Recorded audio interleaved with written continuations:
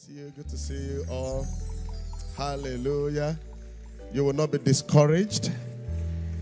You will not die before your time. I say it again, you will not die before your time. And as I was coming in for the service, uh, preparing yesterday, I just saw that I needed to break the power of premature death over the men.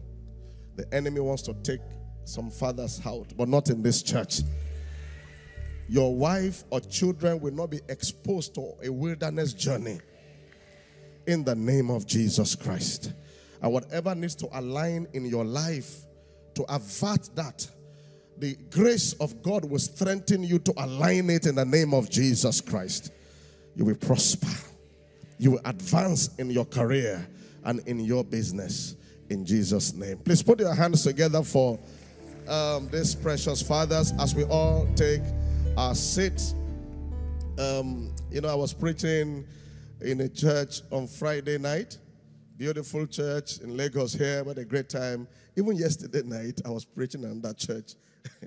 you know, and I, I, I, was praying and I preached the same message in what I, that I preached in, the, in that church on Friday and also on Saturday night. So as I was preaching, just, you know, was prompted in my spirit, preach the same thing, at least in this first service. It's a message um, you might have heard me preach before, uh, but it's about speed. And all the men in the house, get ready for speed in your life. Amen. But for everybody that believes it, whether you are male or female, God will give you speed in the name of Jesus Christ. Speed. Somebody say speed. Ah, say speed now. Yeah, speed. I mean, I've preached it in church before, but the Holy Spirit seems to be stirring my heart. So there are some slides I'm going to use uh, about speed. And the way I always try to start is to help you see the reality of speed. How many of us have been able to walk from uh, Lagos to Abuja before? You? You walk from Lagos to Abuja? Oh, you are doing your hand like this. Okay. How long does it take to walk from Abuja to, from Lagos to Abuja? How long does it take? One month. How long does it take? You live in Abuja. One week or two weeks to walk. Two weeks, maybe two weeks. I mean, I think online says two weeks, but I'm not sure you arrive safely.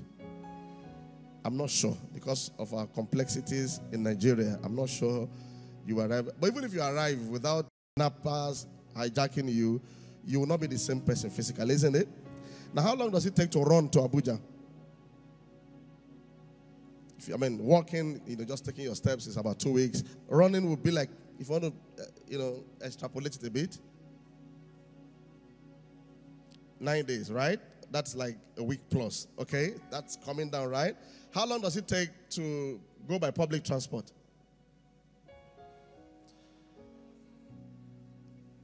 Day, uh, 12 hours, 60, uh, public transport. 12 to 15 hours. Why? They told me in that church yesterday, nine hours. Uh, okay, because of the drop-ins and the parking. Okay, so you find out we started from two weeks, right? Now we are we had uh, nine days, one one week plus, and now we're talking about um, let's say 12 hours because if you are using public transport, somebody is dropping in Ondo, somebody is parking in, they dropping to eat and all those stuff. Now, if you're going by your own vehicle, you leave your house in the morning, 6 a.m. How long does it take? Nine hours or 10, right? You see how it's coming down, right? Now, if you're going to fly, Okay, I flew on Friday to Abuja. That's 50 minutes, right? Max, 55 minutes, depending on the weather. You know, so you see how speed operates. Okay, your leg walking uh, two weeks, then you want to now speed up your leg. You know, uh, one week plus, and then we have 12 hours, which is not bad, and then uh, like nine hours. You know, and then 50 minutes. Which one do you prefer? 50 minutes. That's how life is. Who created the legs? God gave you the legs. Even the legs to run. Who gave you the, who gave you the grace to run, the life to run? God. Who gave the wisdom to create the bus for the public transport? Who gave you your car? Who created or who gave the wisdom for the plane? It's the same God, right? But one is kind of better than the other. So I was in Abuja on Friday, flew in with uh, Pastor Bimbo early in the morning, around 6.30 for something, you know, and then we finished and then had a rest in the place for like two hours, got back to the uh, airport and flew back. The same day, and that same Friday, as I landed in Lagos, I went straight to that church to preach, preach and finish around 8 p.m. and then got home. You see how much you can achieve in a day with speed. But that same, you know, beauty of that day, somebody, if, if you are doing public transport, maybe you are still on the road. While I'm on my way back, maybe you are approaching somewhere, you know, you're not even yet there. And somebody had reached there and is already back. So the first thing I want to encourage us to have in our mindset is the fact that speed is a choice. Something that somebody is doing for two weeks, another person can achieve it under one hour, right? That two weeks can be 20 years. That two weeks can be 10 years. That thing that somebody is struggling to attain, to achieve in life for, for 10 years, by the operation of the, of, of the wisdom of God giving you speed, can happen in one year you will not waste the remaining part of this year. For especially as we enter the second half of the year, I pray that time wasters will be far from you. The things that will create unnecessary delay over your destiny, we, we, we cast them out of your pathway in the name of Jesus Christ. Because most of the times, what we call, uh, you know, uh, is still about to happen is just time wasting. I mean, if you if you run from Lagos to Abuja, even though you arrive, your health is not okay. But in the plane, if you're not the pilot, even the pilot, I'm not sure it's that stressful. But if you're not the pilot, you just sit down, you know, you can take a nap. Under one hour, they say we're about, uh, we're descending into Abuja, and then you land. You still have energy. That's the beauty of speed. It's like getting using the escalator or elevator. You just enter the elevator and then you're going to 10th floor, 15th floor. If somebody else is going through the staircase, and some of us, that's how our lives have been. Maybe it's a mindset. You like taking the staircase. All them of I want to do it this way. And then you are going through the staircase. You're on the 10th floor. You are tired. You are out. Somebody else is still is already there with enough energy. Speed is a reality. I'm not talking about hurrying through life and making mistakes. I'm talking about speed. You can have business speed, you can have career speed, you can have ministry speed. It's a reality. And the first thing I said earlier is it's a choice. It's a choice. Now, the reason most people don't make that choice, it's a mindset. They make the wrong choice. It's a mindset. Now, to run from to walk from Lagos to Abuja, what will it cost you? In, in a way, what will it cost you? Pure water, right? Three bags of pure water, energy drink. Because it's your leg, right? That's what you think is your cost. Now, for you to go by air, okay, let, let me start from, let me, uh, public transport, how much is it now? To Abuja, who knows? get on the keyboard, please. It's too quiet. Uh, uh, how much? We went to Abuja by public transport recently. Uh, uh, 45. No, in that church yesterday, they told me 25,000. Why are we doing like this in our church now? Uh, eh, how much is it? 45,000. To go to London or Abuja. Hey, they told me 25,000 yesterday in that church. That's Sole. What's Sole in English? Who knows Sole? Anyway. Oh, 45. So how much is it to fly? 120. Where? Keke Marwa? 180, 150. Business class, 200. Sorry, 300. 300 going.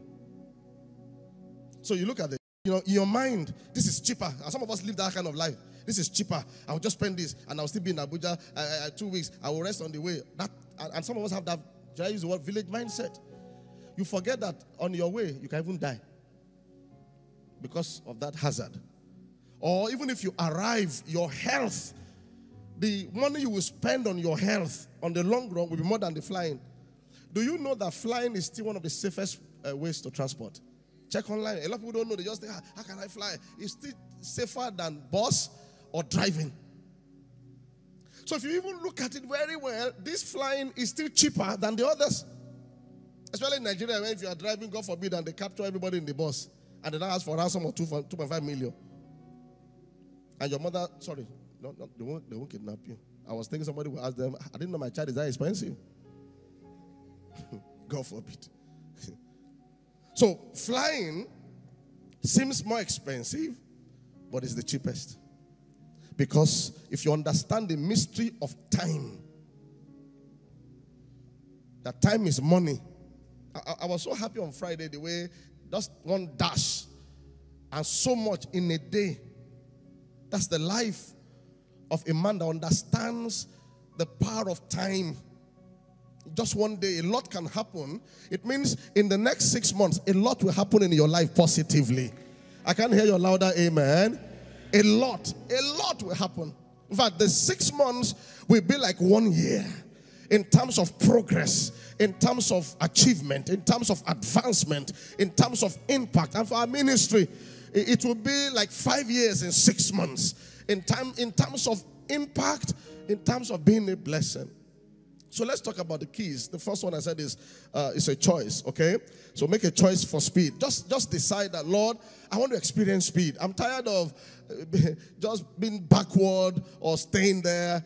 Uh, uh, speed is a choice. Number two is to allow the Holy Spirit to guide you. The wind of the Spirit. The wind of the Spirit.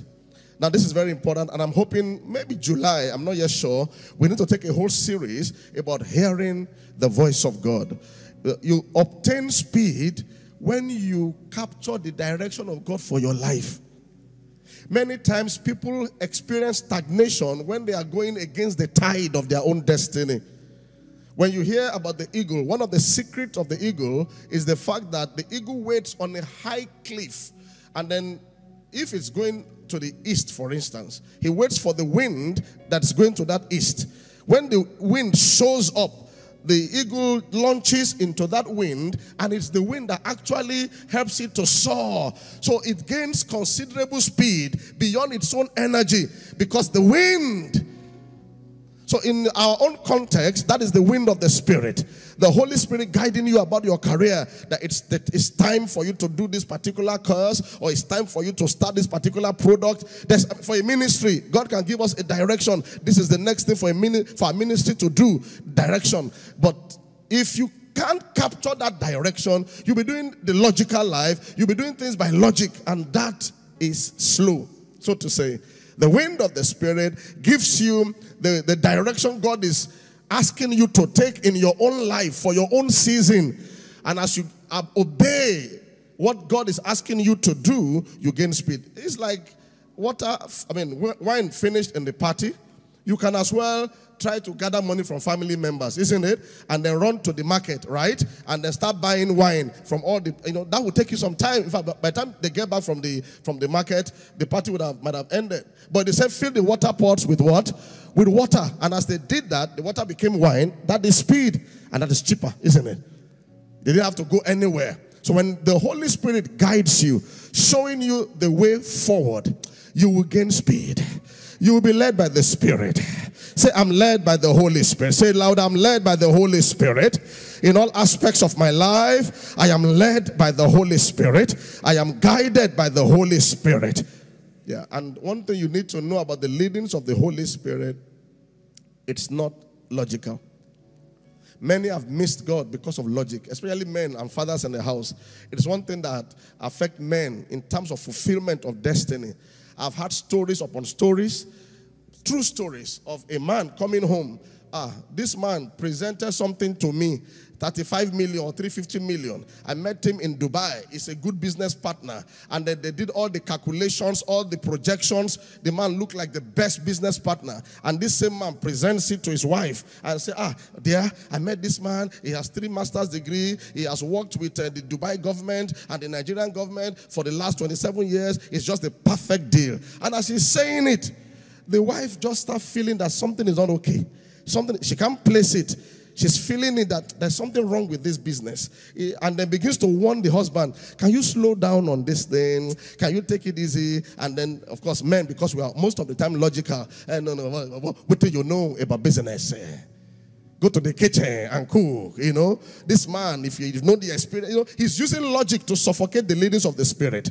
And most of the time, after some few weeks or some few months, The man loses the entire money, everything goes off. Some men are even so proud, they will even tell the wife something has gone wrong. When he comes back and they ask, How's the business? We, we are working on it. We're working on it. We are working on it. We are working on it. I've had too many stories like that. Don't live by this head in that sense. Follow your heart. Okay? The leadings of the Holy Spirit will preserve you from waste.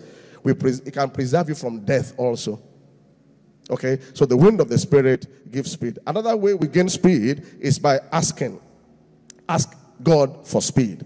Ask God for speed. And I'm going to pray for the men, especially, that God will give them speed this second half of the year that between now and the next Father's Day, there will be considerable advancement in our lives in the name of Jesus Christ. Ask God for speed. We have the story of um, Abraham's uh, chief of staff. His name is Eliezer. He was given a project. You know, I, I love the story. I've shared it several times in this church.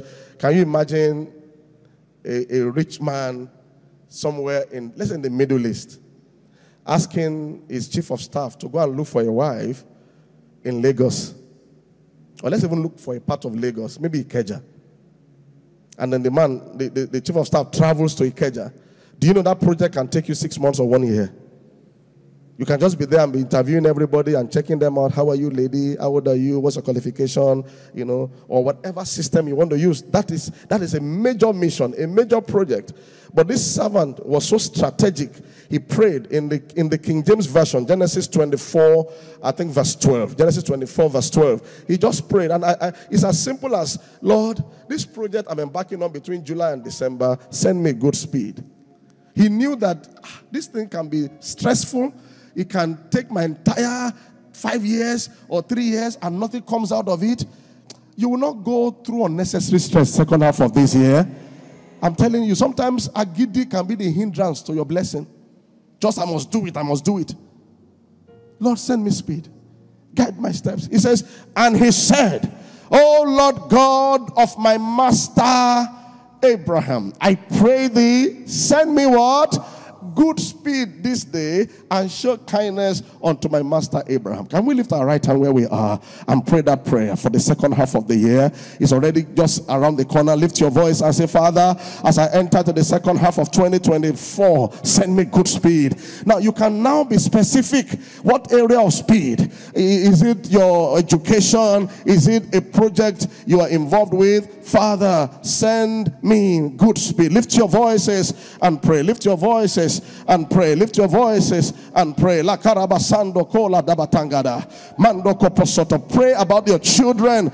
Maybe your kids have some things they have to get involved with or do. Send me good, send us good speed or a project you're involved with. Lord, send me good speed keep me from stagnation or, or time wasting. I will not merry-go-round. I, I will not waste time, waste resources. I will hit it right by the help of the of the Holy Spirit, by the ministry of angels. Send me good speed. Send me good speed. In Jesus' name, God is sending us good speed. Anything that the enemy has, uh, uh, um, has, has put on your way to waylay you, to stop you. The enemy has a way of trying to stop the progress of the believer. You know, I, I pray that the power of the Holy Spirit yanks it out of your pathway in the name of Jesus Christ. You are released into your speed. Many things that should have happened perhaps in the first half or in the last five years that have been held down by this grace for speed, you are released into achieving them in the name of Jesus Christ of Nazareth. Okay, ask God for speed. Number three, or number next, lay aside every weight. Nothing hinders speed like weight. Hebrews chapter 12, verse 1. Lay aside every weight, and I want every man, especially, to listen to this. One day I was with my pastor, and he made a comment about what he noticed about people's destiny at times. I want every father to listen, every man, everybody anyway. He said there are people, they, they, they take four steps forward and then something happens to them. The same person takes three steps backward. After a while, five steps forward. After a while, three steps. So at the end of the day, on the aggregate, after like five, ten years, you realize that this person has not really made considerable progress with their lives. And one of the major things that causes that is weights and sin. It says, Therefore, we also, since we are surrounded by so great a cloud of witnesses, let us lay aside what? Every weight and the sin which so easily ensnares us. And let us run with endurance the race that is set before us. Weights and sins. Some people just know about sins. Weights and sins. Weights. There are weights. There are things that a, a wrong friend can be a weight, isn't it? A very wrong friend can be a weight on your marriage. You just find out that friend in your life is destroying your marriage. The influence on your thinking. A wrong friend can be a, hindrance on your business. Ah, oh, this is your givings to church. What has it brought you all these years? And then you two now, it's true, self. Let me just be working hard. And you're working hard, but it's not hard work that gives favor. And you stop giving. A weight. Your phone can be a weight. Distraction from the social media can be a weight wrecking your spiritual life. You can't, you can't even pray anymore. You can't pray. You can't pray effectively. You just mumble words. Your spiritual life is out. But Facebook, you are master. IG, you, are, you know everything. You know all the uh, influencers, all the jokers. You know their latest video. You know everything. But to pray for 30 minutes, you can't even stand. You are, you're already out spiritually. That phone has become a weight. Many Many destinies are stagnated because of weight. An attitude can be a weight, a wrong attitude to life. I was speaking in that church yesterday and I, and I zeroed in on correction. For some people, the reason why they are not making progress, they don't like correction. It's a bad attitude. Oh, when you hail them, they love you. When you say they are doing fine, you are their friend. When you say, ah, see what you have done, oh, you are. You are. But the day you correct them, you become their enemy. Some people are like that. And in case you're like that, it's not helping you because some of the things that have affected you are the things God wants to correct, but you won't listen.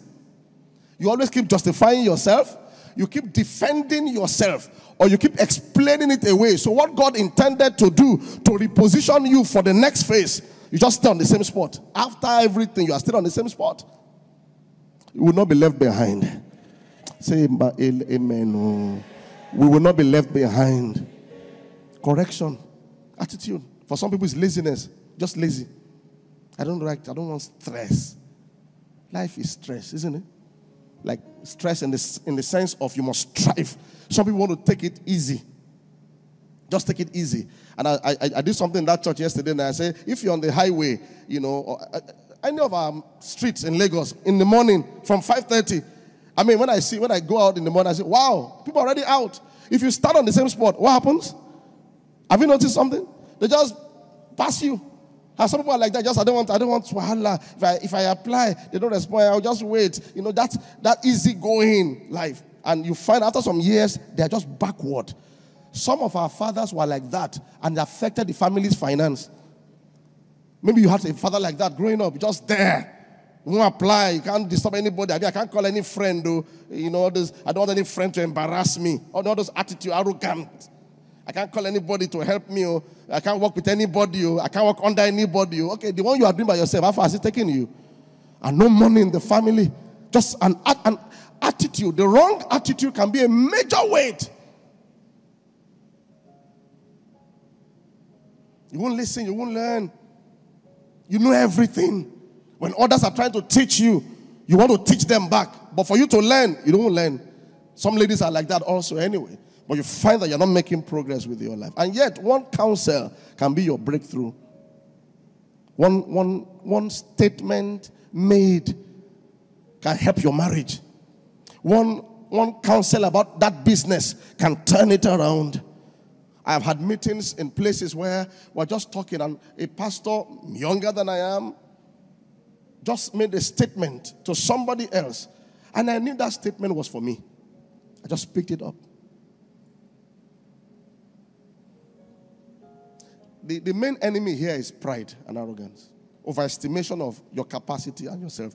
Especially when you have had results in some areas, you can begin to believe that you are invincible. Having results in one area does not make you an expert in other areas. But some of us think because I have results in this area, then I must know everything. You don't know everything. Don't be deluded. So, uh, so, so what, what weight do you need to lay aside? And the thing is, you are the one that will lay it aside. It's not God. He said, lay aside every weight Then every sin, for some of us, is sin. You are committing sin. What we call a share in Yoruba. you know it. I don't want to start naming, uh, is it adultery or this? And you have been in it. You have been in it. And God's grace has been, you know, abounding. But after a while, it looks like you are frustrating the grace of God. That's what scripture says. That don't frustrate the grace of God. I remember the story of David. David made a mistake, well, a huge mistake. He committed adultery and then killed the, the husband of the woman. Guess what? For one whole year, God didn't say anything. Ah, God is so merciful. And, I, was, I was sharing yesterday, I said, you can imagine, because David was a worshiper. So for a whole year, he would go to God's presence and be worshiping him and not say anything about what happened. And God would say, ah, ah oh God. So we just come. Who is like unto thee? Oh Lord, who is like unto thee? Oh God. We will sing and God say, I, I know. I know. Then the next day again. Oh Mema, oh Mema. Ah, you did something, no? Let's talk about it. Let's resolve it. He that hideth a sin shall not prosper. After one year, God sent a prophet to him. On that frequency, Wahala don't come. Scripture says, judge yourself so you will not be judged. Now, this judgment is not eternal judgment. That one is different. We'll teach about that sometimes this year. It's talking about when there's a time lapse. After one year, God now sent a prophet to him. Abba, you did this. And it was not palatable. His own son raped his own daughter his own son killed another son. From the root of that sin, sin sinks. So I don't know what sin you need to lay aside. Yours might not even be adultery, might not, might be covetousness. You, you just like stealing, taking money, taking things that doesn't belong to you. And it could be sins of omission. You know, we have sins of commission, sins of omission. The, the omission is are, are things that you are supposed to do, but you didn't do. But the root of it is in pride or some or unnecessary arrogance. You are supposed to do it, but out of mm, mm. that that that you know those things that people can't see it, but God sees it. In fact, from scriptural understanding, those things they are weightier than the ones that people commit. You know, you can be dishonoring somebody in your heart, and person will not know. But God sees it.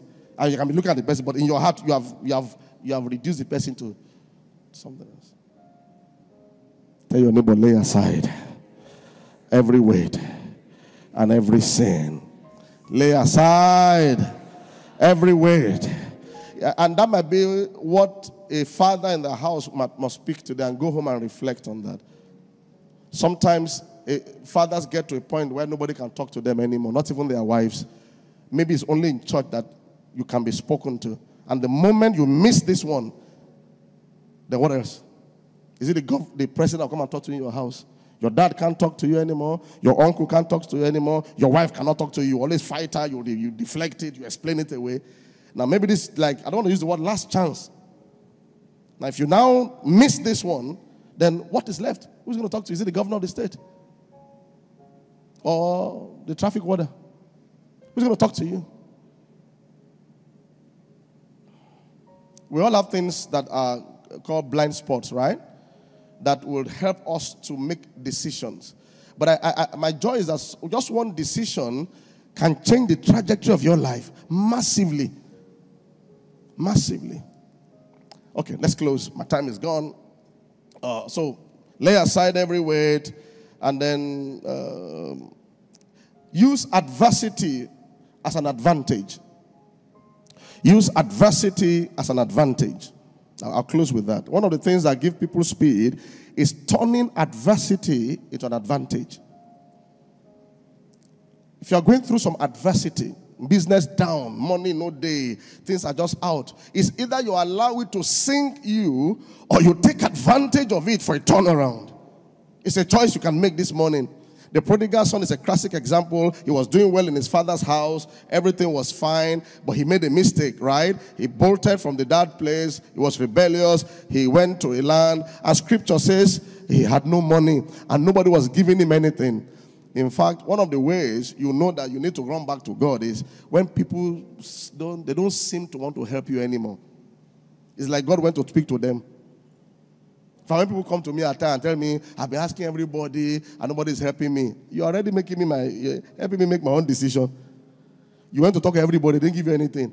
there's something wrong somewhere. Is that mean I would not give you? Why is everybody not responding to you? That statement in the life of the prodigal son, and no man gave to him. That means favor stops flowing. And sometimes, especially for the fathers in the house, you just realize that things that used to respond before in business, it's not responding. Yeah, I call this client, they send money. I call that one, you know. But suddenly, everything stops. Hmm, what is happening here? Is it that somebody went to go and tell all of them? Maybe, maybe that's like, like Jonah. If he enters a thousand sheep going to Tarshish, nothing moves. Nothing moves. And no man gave to him, but he did something. He turned the adversity into an advantage. And I have a list here. How did he do it? How did he do it? Number one, go for a retreat. When you notice that ah, the door that you used to knock and open, before you knock it, it opens. You do this one like like like they call it Midas touch, right? You know, and suddenly everything looks uh, all the efforts you are straining, money no coming. Go for a retreat, two day retreat, one day retreat, three day retreat to pray. If you need to repent, repent there. Make some decisions. The prodigal son said, Ah, how many of my father's hired servants have bread enough to eat and I perish with hunger? He said, I will go back. That's repentance.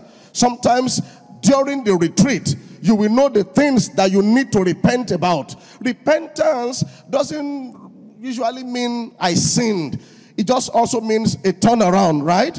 A change that God asked me to do something early in the year, but I was stubborn. Could that be the reason why these things like this? So you repent by obeying what he said you should do, okay? And for somebody else, it might be literal sin. So that's re- during the retreat, your head will be clear, and then you repent, and then you renew, you renew, you renew the altar of your life before the Lord. During that retreat, there'll be a revelation. God will give you a word. For the prodigal son, it was almost on the same spot. Scripture says he came to himself. He came to himself. Ah, something is wrong. People might not know, but me, I know that something is wrong. Every man knows when something is wrong. Your wife might not even know, but you know that ah, something is wrong. Go for a retreat. Take time out. Stop jumping. Stop trying to use activity to cover it. Stop trying to use things to cover the thing. Go for a retreat. Ask God for the way forward. A revelation from look at the prodigal son. he said, I will go back to my father. I will not pose as a son. Let him employ me as a servant. And it's better than me eating with pigs. And guess what? That changed everything. I think the guy had speed because by the time he was on his way back home, before he could even talk too much, the father heard him and restored him. You'll be restored. Your glory will be restored. Your business will be restored. Things that had walked away from your life that belongs to you will walk back into your life. So somebody say amen. Rise up on your feet this morning. Rise up on your feet. I think I'll close with that this morning. Father, thank you. Let's go ahead and give him thanks for what we have received. And if there are things in your heart you want to talk to God about, which I think you should have, you can do that uh, right right away, even as we praise Him and give Him glory. Lift your voices and give Him glory for what you have received. Uh, and somebody, what you just need to do is to say, Lord, I receive your speed. I receive your restoration. I receive your speed. Lift your voices. Give thanks to God for what you have heard. Uh, if you need repenting, do it joyfully the devil does not like when people make a U-turn. He wants them to head head head into you know destruction or accident. You know, but you are saying, no, I dodged the bullet. I dodge, I dodge this disaster. I, I, I avert it. I stop it. You take a a U-turn. I said, no. I won't do that in my business. No, I, I won't do that again. I, I won't take that step again. Lift your voice and pray. Lift your voices and express yourself. Father, we thank you for this morning. Thank you for you accelerate us. You grant us speed. We, You grant us speed. Re masarabara sondolo kashanda. Mandalara tongrede. Mando badakasa. Father, as, as we pray, I break, I break stagnation. I break stagnation. I break stagnation. I break stagnation. Nakora sata. Mando kalada pradekaza. Havadaro stondo lokosoteza. Mando. I break stagnation in the lives of women and men here. Somebody's watching online. You have been going through the same cycle of the last five years in your business. I break that negative cycle right now. You break out of that cycle. You break out right now in the name of Jesus Christ. Anyone hearing my voice? You have been merry-go-rounding about destiny for a while. You can tell it's the same cycle. It's the same. It's the same. It's the same. It looks the same. This morning I come with the anointing of the Holy Ghost. I declare that you are breaking out of that cycle, that negative cycle, that unfulfillment, that that stagnation, that's that that setbacks. You break out of it right now. In the name of Jesus Christ, I release you into destiny. I release you into speed. In fact, the things that you missed in the last five years, God will give you speed to cover up for that lost time right now in the name of Jesus Christ.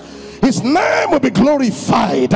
His name will be glorified in your home, glorified in your health, glorified in your journey. Receive it in the name of Jesus Christ. Every dark cloud over your head is broken right now.